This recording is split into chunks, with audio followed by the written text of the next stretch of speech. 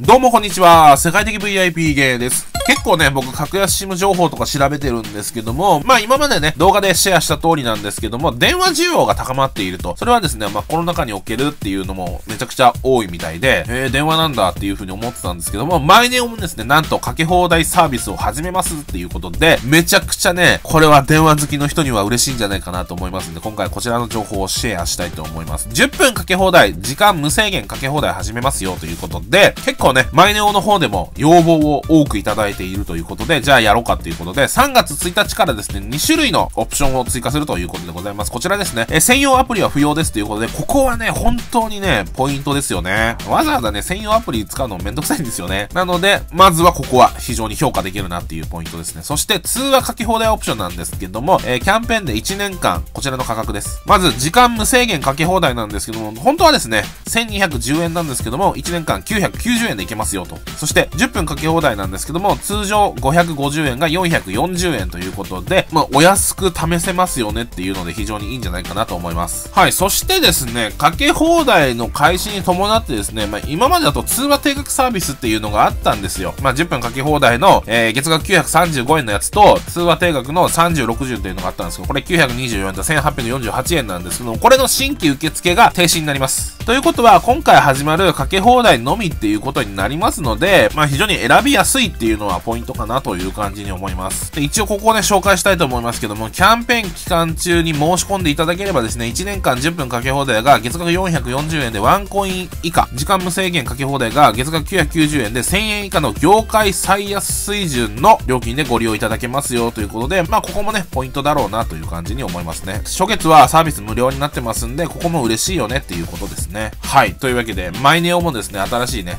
かけ放題オプションを出してきたということで、非常にですね、電話需要が高まっているなっていうのを分かりますよね。ぜひチェックしてみてはいかがでしょうか。以上です。お疲れ様でした。